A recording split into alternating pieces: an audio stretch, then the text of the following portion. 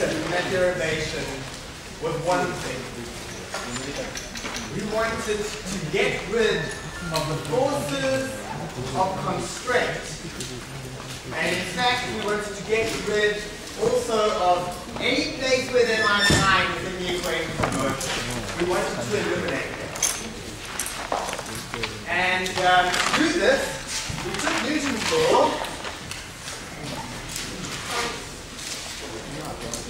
Is a very accurate description of the classical universe, but it has serious shortcomings. And the serious shortcomings were when we write it like this, in this mathematical clothing,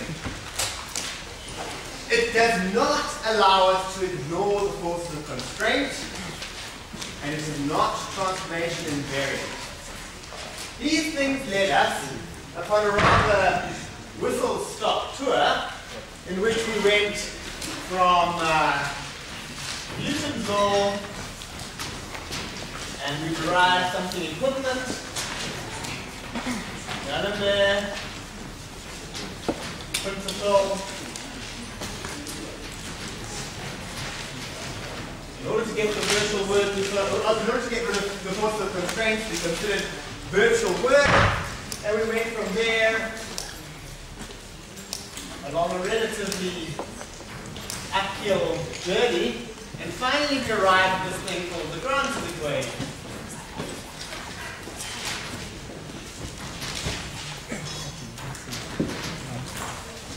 And then time was up. And uh, we all got off the train and um, was kind of at a point at which we were wondering, well, why did we do all So from here, we're essentially going to take these equations and look at really what's nice about them, what's beautiful about them. We're going to explore this town quite thoroughly before moving on. When we do move on, it will be not too completely new territory, but it will be around the outskirts of town to some of the more scenic things that we, we didn't have time to have a look at in the early days. We'll look at um, certain nice properties of the Lagrange equation.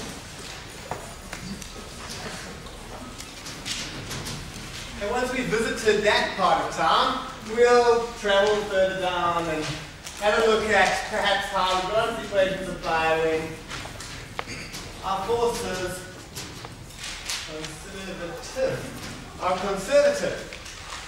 And when we're done with that, we'll perhaps travel around and look at how Lagrange's equations are applied to systems. That's the program of the next week. After that, we might go out to some more exotic places we may explore things like the calculus of variations. We may ask about how small oscillations are applied within the formalism. And those things will be perhaps further outwards and closer to that large metropolis called modern physics. But for now, we'll leave ourselves in this part of town, and we'll get back to that story. What is the Lagrange's equation, and what does it mean? So, Let's write this down. We left on Monday with this rather enigmatic looking thing. Qi plus LP LQi is equal to dWt.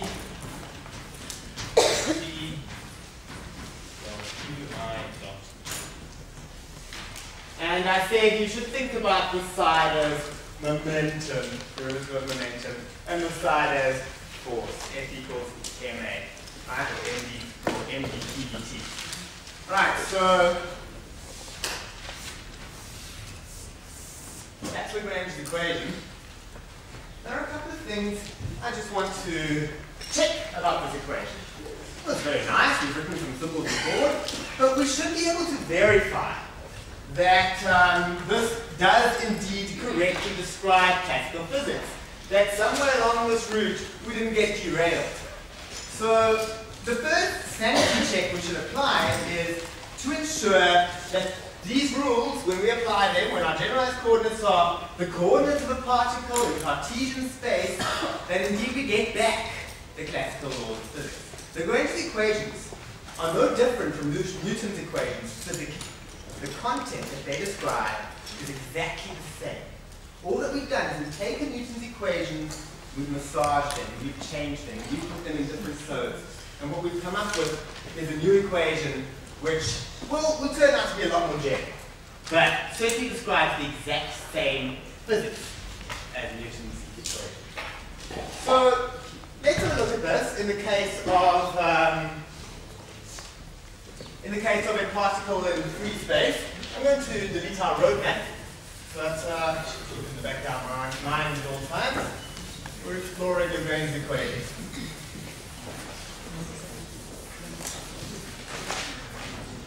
Um, so, let's look at a particle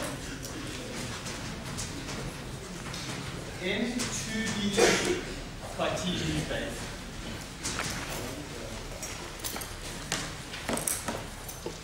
Such a particle is best described by any, well, any coordinates you like, x and y. Right? X and y give the coordinates, fully describe where that particle is. How many degrees of freedom does the system have? It's a particle, not a rigid object. It can't rotate or anything. It's just a particle. And living in two-dimensional space. It has two degrees of freedom. So the first thing we always ask when we solve problems with Lagrange's equations, we'll get used to this algorithm as we go along, we always ask how many degrees of freedom? The answer here is 2. Right? Then we choose generalized coordinates. Well, for now let's choose x and y, yeah. Right, so it's a particle. In other words, it's got no length, it's got no breadth. So if I draw a point, there's, there's no sense in talking about a particle rotating. It just moves from place to place. When we, when we idealize down to the particle, we have no intrinsic dimensions. That, that's what the definition of the particle is. No intrinsic dimensions. It cannot rotate. It can only move around in space. Completely determined by where it is and how fast it's moving. Okay, so generalized coordinates. We're going to choose x and y. That fully describes where the thing is. Remember, generalized coordinates are any coordinates that fully describe where our object is, in which there are no holonomic laws of constraint relating it. We've got generalized coordinates. Once we're done with generalized coordinates, we generally ask the question, in these generalized coordinates, what is the kinetic energy of the particle? So let's do kinetic energy.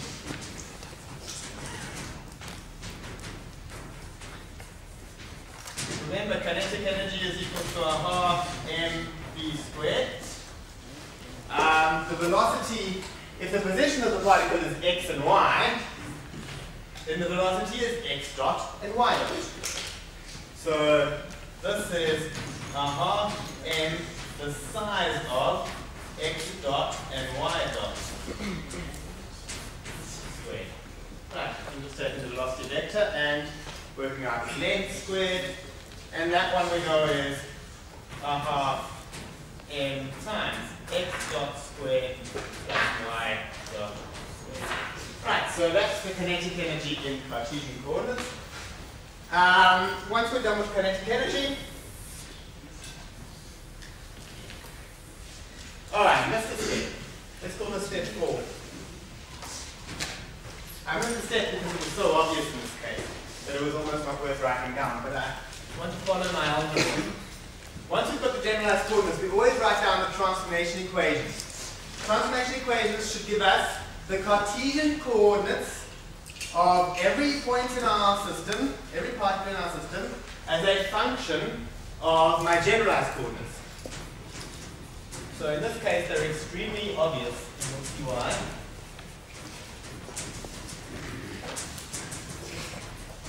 Transformation equations. Well, in this case, they look like x is equal to x and y is equal to y. There's no content. Um, but we always follow the algorithm. One, two, three, four. Let's do step five. So we work out the degrees of freedom, the generalized coordinates, the transformation equation, the kinetic energy. the next step, always, we'll follow this, this procedure all the time. When you're doing assignments, you will also follow this procedure when you're solving a problem. Um, the, the next step is working out the generalized components of force.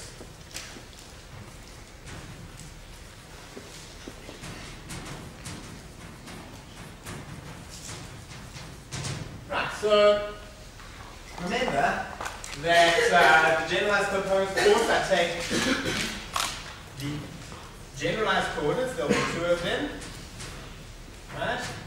The x component, generalized component of force, will be the x tangent vector, ex dot the um, position, right? Or the force. And this one will be dot the force, right? But ex is just x hat and ey is just y hat. Everything is very easy in this case. You just get fx and fy. So when we're doing everything in Cartesian coordinates, there's nothing funny going on. Um, and once we've got all of those things, we'll simply write down the Lagrange's equations. So we've got two equations for our system because there are two degrees of freedom. You'll generally find when you do things like this, number of degrees of freedom will inform the number of generalized components of force, and it will also inform the number of Lagrange equations that we write down. So we write down the Lagrange equations twice. The first one, 2x plus del t by del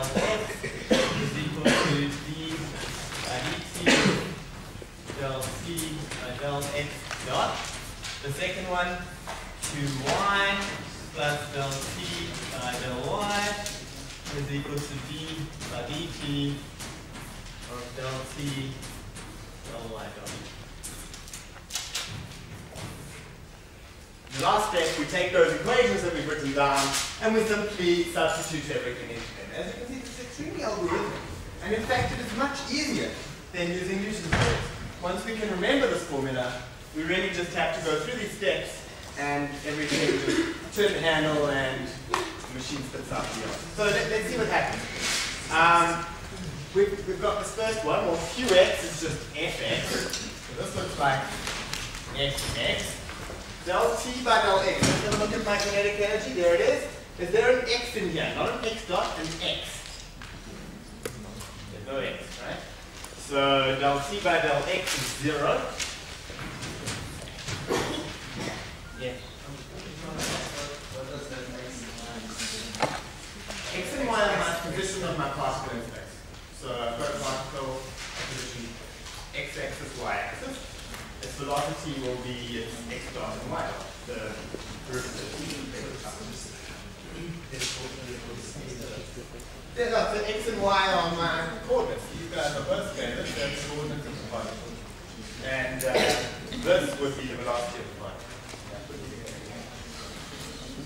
Right, so there's no dependence of directly on x.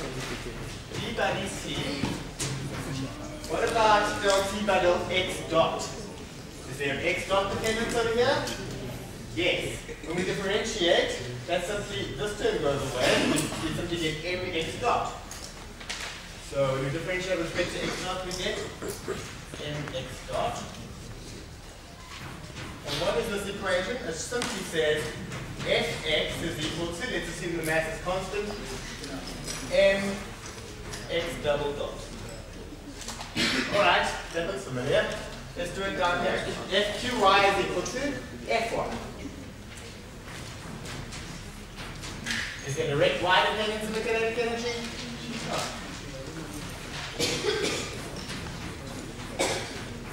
Derivative of the kinetic energy with respect to y dot my dot.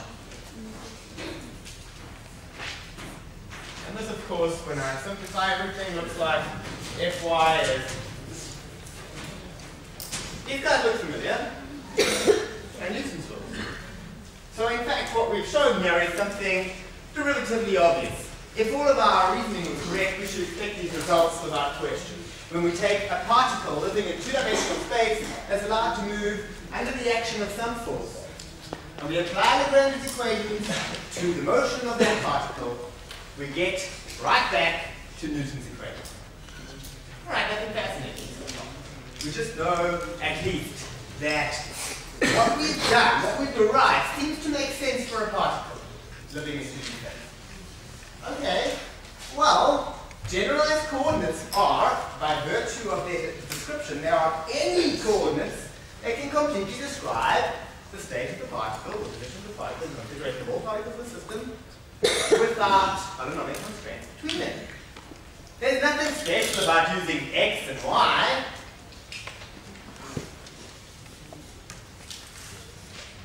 Let's change it. Let's use polar coordinates.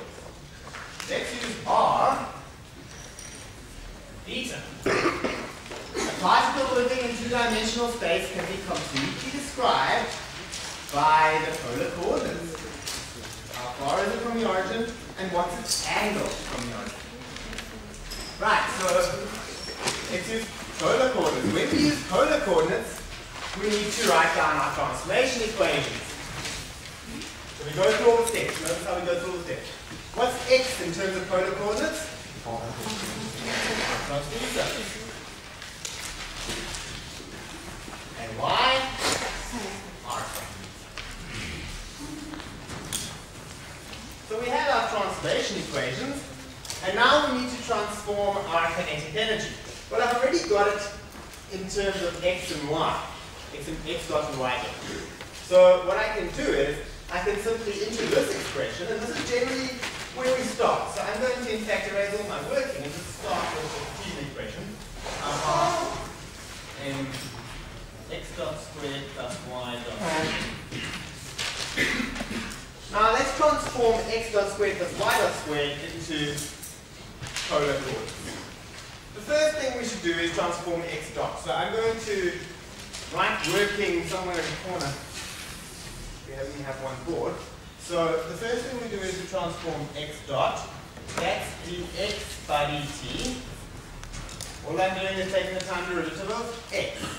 So that's d by dt of r cos theta which is, now remember, r and theta are both functions of time, so I must here use the product So let's first component, r dot, times cos theta. That second component, I believe will be a minus, r. Theta dot, we use the chain rule, because I'm differentiating with respect to time, not respect to theta, sine theta. Right, and I can certainly work out the velocity in the y direction. y dot is equal to dy by dt is equal to d by dt of r sine theta.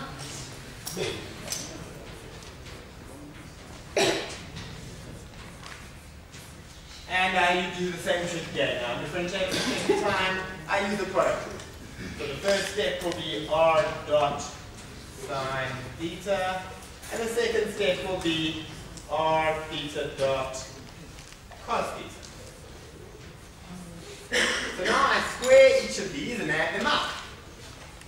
And you can do that on a page quickly. Um, I know the answer. It's pretty pointless for me to say I'm squaring them and then just write the answer down. You should try and work it out. Um, there is a trick that we'll learn later that will enable us to do this kind of thing much quicker. But uh, let's go through the steps now. So if I square these terms and add them up, what do I get? Well, I could talk you through it. This first term squared plus this second term squared minus 2 times this term times this term.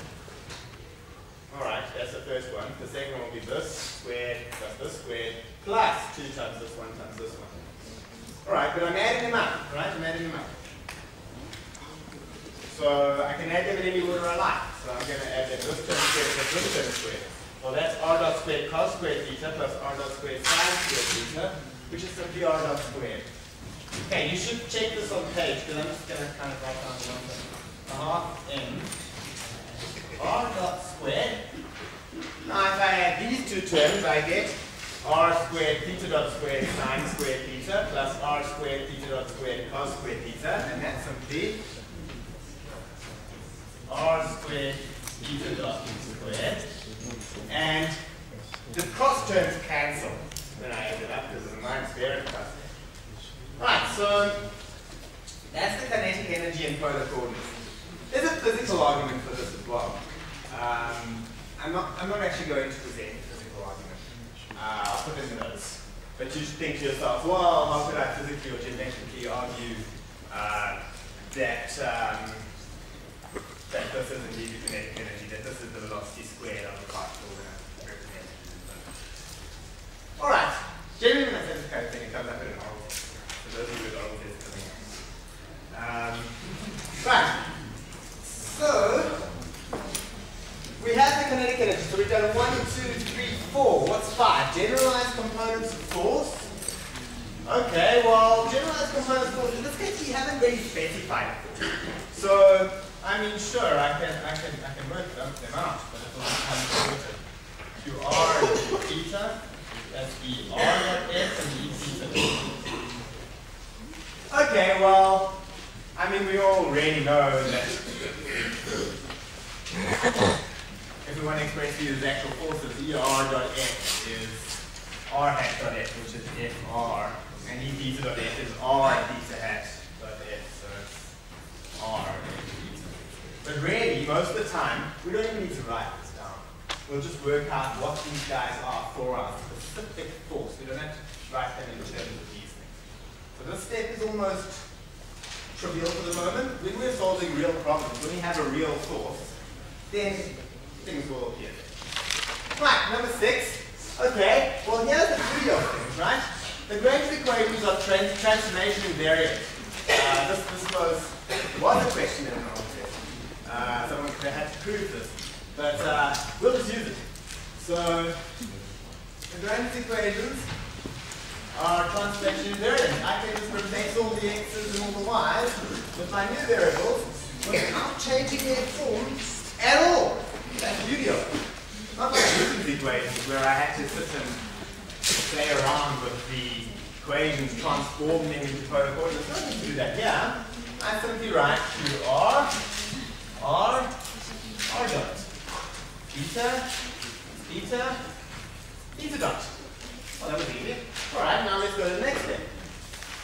Notice how, because they're two degrees of freedom, though I'm using different generalized coordinates, I still have two things here, two things here. Right, well, next step. Step seven. So now we write out QR and Q theta. We could write out FR and RF theta, but I'm actually going to just leave it as QR which we'll work out in our specific cases for whatever forces we're given. Right. What's del T by del R? Let's go back to T. Has it got R dependence? Yes. Yes. There's an R over there. So with the differentiate with respect to R, 2 goes down and cancels with the half. This term goes away. We get mr theta dot squared. Right, so this now is mr theta dot squared. Um, what about away. Um, what about del t by del r dot? There's an r dot dependence. So we differentiate that, we simply get mr dot.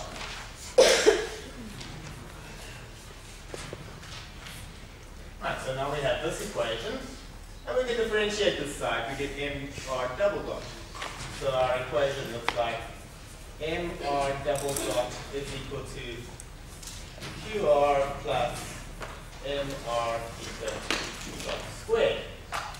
Okay, let's do this one. Q theta. Is there direct explicit theta dependence in the kinetic energy?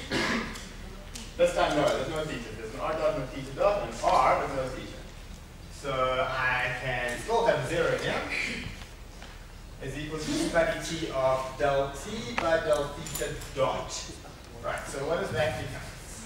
There is theta dot dependence here. Well, I simply differentiate and I get m r squared theta dot. Now we have to be careful. When I do this time derivative, I can't blindly just put a double dot on the theta like I did on the r. there are two things here that are time dependent.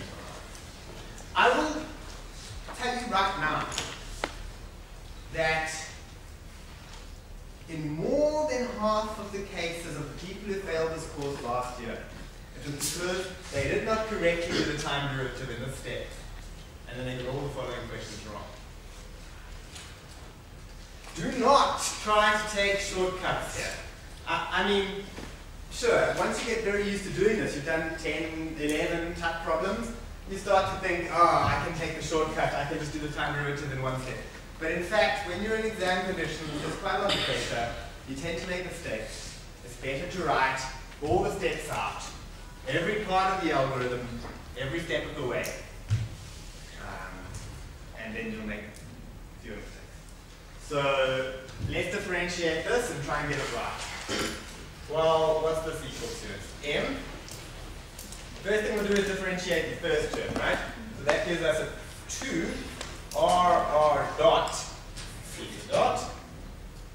And uh, the second term, if we differentiate that, that's a theta double dot. So plus m r squared theta double dot. Right, so these equations are, in fact, Newton's laws in polar coordinates. They are the same equations we derived earlier in the course. Only early in the course, we had to do some reasonably annoying vector analysis in order to transform Newton's laws. Yeah, we simply took these equations and changed what we were doing them with respect to. So long as we had our transformation equations written and energy in the right place, everything worked.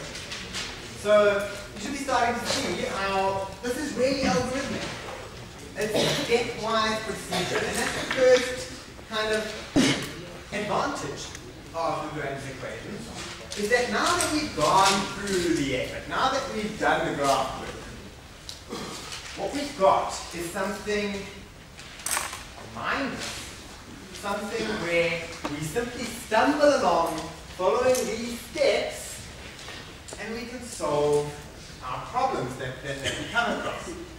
So we've done some relatively trivial things, two different expressions for essentially the same thing, uh, Newton's laws in polar or Newton's laws in uh, Cartesian coordinates.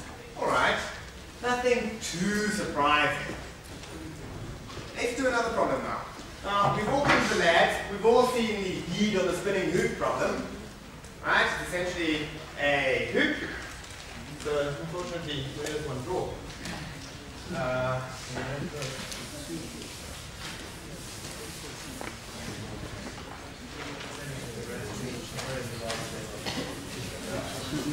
so